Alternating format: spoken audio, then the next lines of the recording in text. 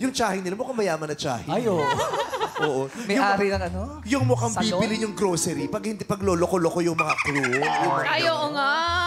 At di, di ba pag ganyan malaya ka umihi nang hindi namin napapansin.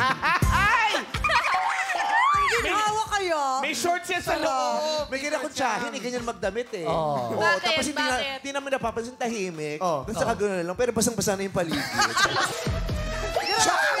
Basa? Ay, pasensya na, nagdilig ako. Baka may natapon May lang. natapon lang. Oh, Pero pati yung sapatos, eh, diba? Yung, Oo. yung nanay na ano, yung nag-grocery, tapos may, may Yes. push cart. Yes. Ay, oh. May nagtutulak para sa comfy kanya. kasi yan, Correct. di ba, Nay? Comfy. Yes. Saka may abaniko. Oh, may abaniko. O, nagtutulak. Tapos ang laman lang naman, ng, bin- ang binili lang naman, pasador. may, may card pa, pasador lang ang bibili. Oo, pero may card. Pag ganyan ng mga social, hindi kasi nila hinahawakan. Walang biskwit? Wala, walang bi- biscuit. Bisco, yung nakaka, naka, ano, latang, Lata. mataas. Tapos, pag magbabayad din ng bill, syempre, credit card. Yes. Credit card.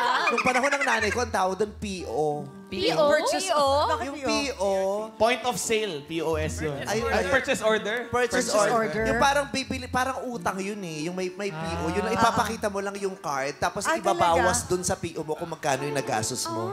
Tapos babayaran mo yun kung kanino mo kung ginamit yung PO. Alam ng mga nanay to dati. Saan yan babayaran? Sa ano sa Guatemala, pupunta ka sa Guatemala. para kung, kung sino yung nag, oo, nag-issue sa ng PO, sa kanya Saka mababayaran. magbabayad. Ah,